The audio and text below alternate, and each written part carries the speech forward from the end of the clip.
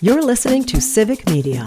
You can tune into any of our live shows on any radio station across the state with the Civic Media app. Find us in your phone's app store and listen anytime, anywhere.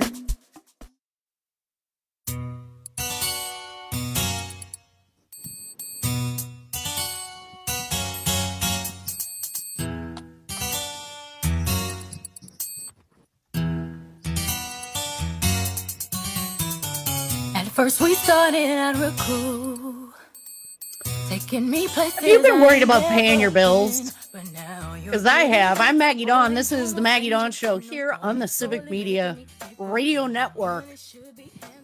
Everybody, y'all, we got bills, bills, bills. And there's a reason we might be feeling a little bit tight. And it ain't because of Democrats, it's because of Republican policies. And it is the three o'clock hour. And so here on the Maggie Dawn Show, it is time for Maggie and the Millionaires talking money.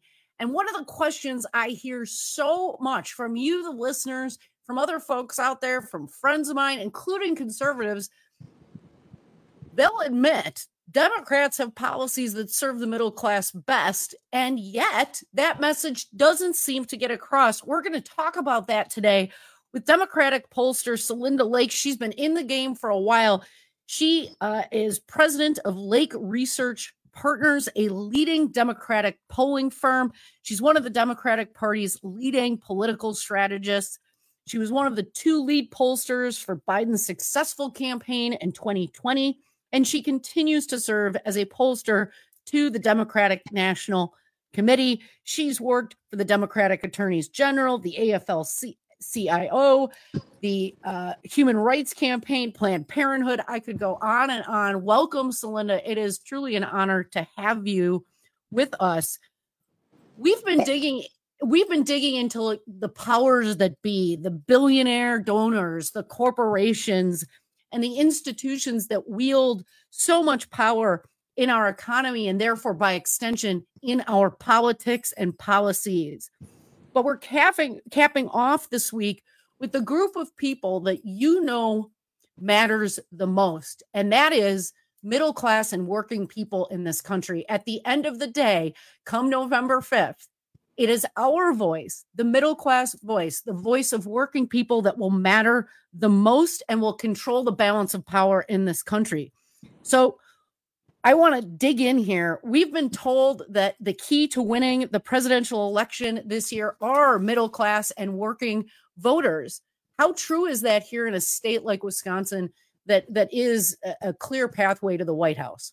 Yeah, well, it is uh, the clear pathway to the White House, uh, and it's so nice to be on with you. And it's I'm thrilled that you're in constant dialogue with your audience about these really important issues, and they're very frustrating. So it's glad to have someplace with clarity and honesty, uh, and that stands up for what we all know to be true. So the working class, middle class vote is essential in Wisconsin.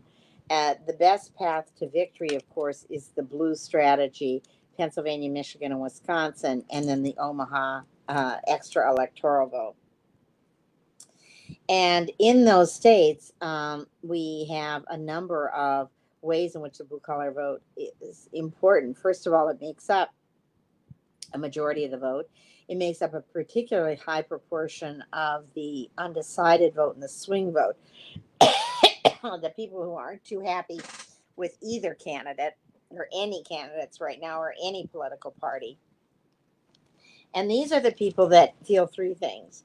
They feel very, very strongly that um, the economy has been bad for them. There's no victory laps. Uh, price gouging bills, healthcare costs, all the things that you're talking about.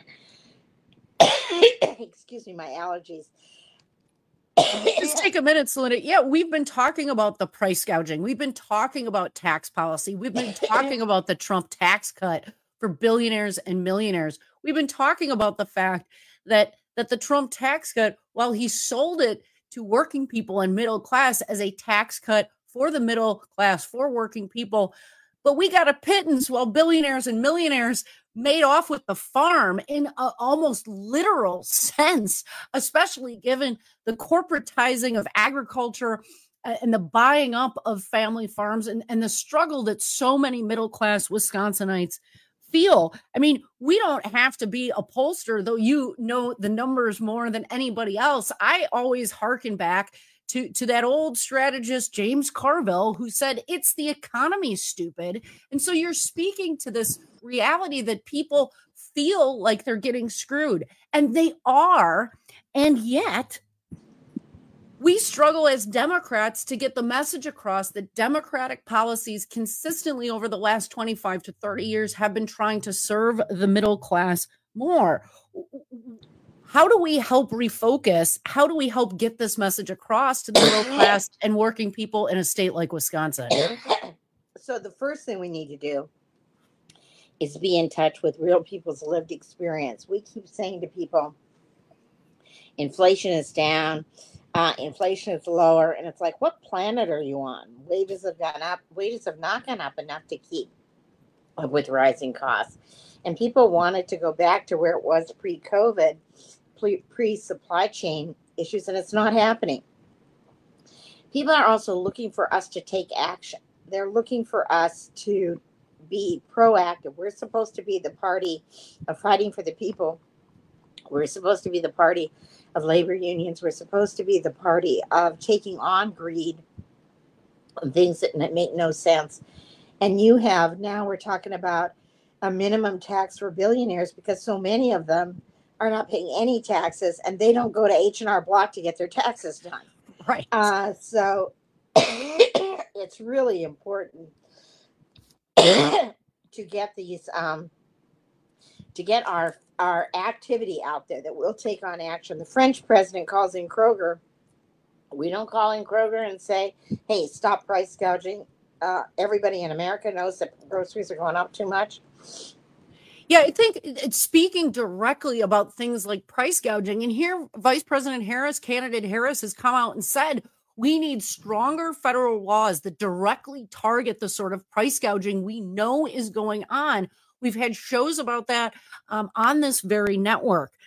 And, and it still remains a puzzlement to me, Celinda, that voters seem, I don't know, to have bought the snake oil being sold by Donald Trump and Republicans. They continue to, again, again, against all indications in reality to the contrary, to give Donald Trump higher marks on the economy. Is this just a disconnect between the frankly the fact that the economy tends to lag policy making and so there's a disconnect between what people are feeling and and what's the, the different policies that are enacted as well as frankly uh, as you pointed out we need to stop saying things like well inflation's been solved without acknowledging that people still feel this pain well, we need to be more populist in our town. And that's one of the places where I love patriotic millionaires.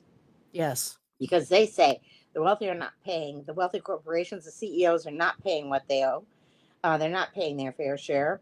We, the working people and the middle class people, we produce the profits for the CEOs, but they get bonus for laying us off. Uh, so that's pretty outrageous. So we need to be more populist we need to repeat our plan more. We lay out a plan there and we think everybody knows it. No, we lay out a plan and nobody knows it. And until it shows up at people's real lived experiences at people's kitchen tables, they're not going to think that plan is real. It's just political talk. We need to come back and uh, have a written plan with validators and be relentless on implementing that plan. And we need to pick a fight what people do remember is when we produced something and when we picked a fight. We picked a fight with pharma. We negotiated lower prescription pill prices and we capped insulin at $35. People know that. They know the fight. They know that pharma was is strong and they know that the price of insulin was way too high and way too arbitrary. And God knows Wisconsinites know it because you can just go across the border to Canada and get infinitely cheaper drugs. Yeah, I, I really think that that you've landed on something that that's important, and that is getting away from generalities and frankly a bit of the academic discussions about the economy. It needs to be specific and it needs to match up with what people are experiencing every day with some very, very concrete objectives and a plan to get to those objectives. And so when I think about price gouging, for example, we know that price gouging is happening because the frankly the profit margins are increasing at the time when cost of inputs has gone down and those profits that profit margin we're not seeing being reinvested in workers with a, a, a, wage floor that's rising as fast as their profit margins. So we know the math here right? So when we talk about something like price gouging is it possible to get specific? How do democrats get specific so that people know that they can frankly take a democratic candidate's promise to the bank? Well, they need to see it in action and they need to see the results. And uh, one of the things that was really problematic with Build Back Better, I mean, when the first rebuilding was done by Obama and Biden together, they had signs posted everywhere. This project brought to you by yes. uh, the Obama Biden economic plan. We had none of that with Build Back Better. People had no idea these jobs were taking a long time to get online, and people thought, when are these jobs going to come up? Because I, I got to buy milk today. Right. I got to buy eggs tomorrow. And people also think, why can't this be made better? We're the United States. Why do we run out of uh, infant formula? And why can't we fix it? Why can't we? Okay, we got avian flu. Well, go get some more little chickens and get eggs. I mean, people think, and then we decimated the family farms. We yes. decimated the small business sector. They're really hard pressed to even survive, and Wisconsin has lots of both. And people think, when are we going to do something? What I love about the Harris plan is it's very concrete. $50,000 for small businesses, $26,000 to buy a house. These are things people can measure. I never had anybody in a in a focus group say, "Well, gosh, I wish the GDP would be better so my family would do better." They say, "I wish the price of eggs would come down so my family would do better." Well, one of the reasons that the GDP measure is meaningless is because it truly is to a family's budget. The GDP going up may, in fact, be a reflection of CEO pay and corporate profits going back into shareholder pockets, which is not the vast majority of Americans. Folks, my very special guest this half hour is Celinda Lake, president of Lake Research Partners, a leading Democratic polling firm. We are talking about why the importance and the impact which has been working for working Americans in democratic policies. And in fact, the Harris platform isn't resonating in the same way that we would think it would if folks were just voting their economic best interest. We're going to have more with Celinda when we come back. If you've got questions or comments, phone and text lines are open 855 75 Civic 855 752 4842. I'm Maggie Dawn. This is The Maggie Dawn Show here on the Civic Media Radio Network.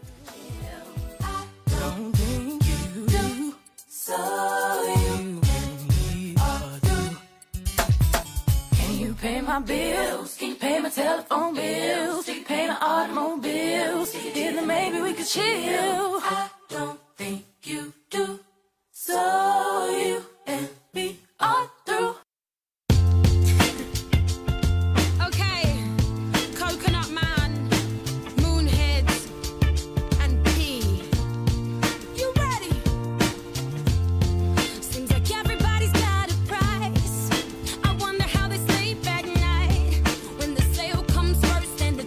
a good coconut tree. How you? I'm Maggie Dawn. This is the Maggie Dawn Show here on the Civic Media Radio Network. We are in the three o'clock hour, and so it is Maggie and the Millionaires Talking Money.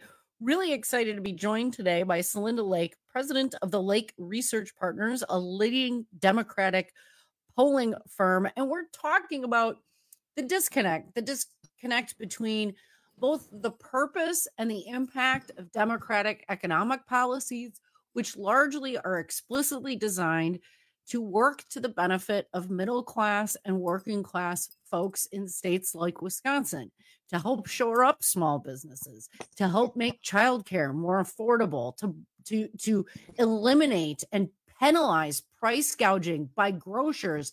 I call it pandemic profiteering. They're like the war profiteers after World Wars One and Two. We made it illegal then, we can do it again. Kamala Harris has proposed things that will help regular working people, like $50,000 grants to help start small business, a $26,000 uh, assistance for people buying their first homes. these are things that will help bridge the gap to raise the tide and thus raise all ships, meaning middle class ships, people. That's what we're talking about. Um, and Celinda knows a little bit about why our messaging continues to struggle. Um, let's talk a bit about Gen uh, Gen Z swing voters, millennials as well. There seems to be a whole lot of hand wringing about these folks. People are telling them that they're uh, they're worried about things that are different from what other demographics of voters are are concerned about. But it turns out from your research, Celinda, that Gen Z voters are worried about the same things that the rest of us are. Yes, and that is particularly true for uh, Gen Z, swing Gen Z voters. So we found that about a third of Gen Z voters were definitely um, most worried about the war in Gaza and very, very focused on that. But the rest of the 70%, uh, 40% were focused on the economy and rising prices and the inability to afford a home, the inability to pay afford education, much less pay off the debt, the inability to get a rising wage, what kind of side gig or multiple side gigs you have to have to make it in this economy, the fact that wages aren't going up, the fact that jobs are reducing their benefits, the fact that you can be laid off at any moment. And um, we found a third of the people, 30%, were worried about all the money we're spending abroad. Mm.